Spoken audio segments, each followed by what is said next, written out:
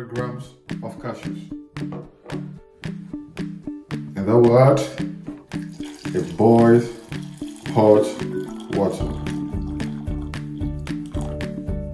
So this, I'm gonna leave it for about 20 or 30 minutes. So here we go. We are ready.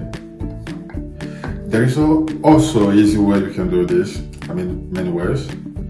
You can also soak the cashews overnight, or you can just boil it with hot water for 20 or this inside of blender. Just the cashew without the hot water. So right here we have around 50 ml of lemon juice.